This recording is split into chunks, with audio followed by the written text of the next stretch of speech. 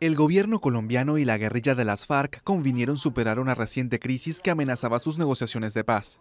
Aseguraron que continuarán cumpliendo los compromisos adquiridos respecto a medidas de desescalamiento y fomento de la confianza.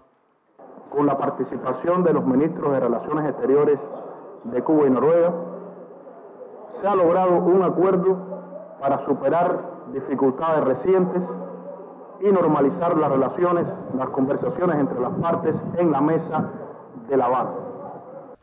Un grupo de negociadores de las FARC, encabezado por Iván Márquez, apareció en Colombia junto a guerrilleros armados en un mitin popular, lo que fue considerado por el gobierno como una violación a las reglas. Bogotá suspendió los viajes de los representantes de la guerrilla a Colombia, autorizados para explicar los avances del diálogo. El presidente Santos advirtió que el tiempo para alcanzar un acuerdo se acababa.